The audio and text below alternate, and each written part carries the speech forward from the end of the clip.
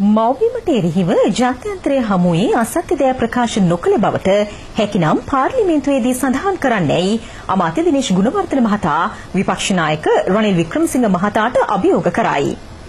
GSP බදු සහනය සම්බන්ධයෙන් ඇති වූ විවාදයකදී මෙම උණුසුම්කාරී තත්ත්වය හටගැනින.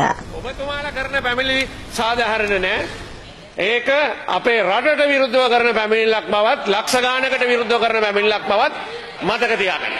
අපි පැමිණිලි කරලා තියෙනවා නම් යුරෝපීය සංගමේ කොමිසමේ ලියුම් වල තියෙන්න ඕන එක්සත් ජාතික පක්ෂය පැමිණිලි කරා කියලා.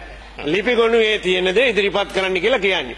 ඔබතුමා ප්‍රකාශයක් කරනවද කිසිම අවස්ථාවක මේ යුරෝපා හවුලේ කිසිම නිලධාරියෙක්ට හෝ නායකයෙක්ව අමතිවරයෙක්ට ලංකාවේ විරුද්ධව සාකච්ඡාවක් කරලා නැහැ කියලා දැන් ප්‍රකාශයක් කරනවද? නෑ නෑ. GSP හෝ ලංකාවට එලෙස බලපාන ප්‍රකම සාකච්ඡාවක කරුණ කියලා නෑ. එහෙම කියලා තියෙනවා නම් ඒක වෙන කෙනෙක් තමයි කියලා තින්නේ මගේ නම පාවිච්චි කරලා කියලා ප්‍රකාශයක් කරන්න. එතකොට මේ ප්‍රශ්නේ ඉවරයිනේ.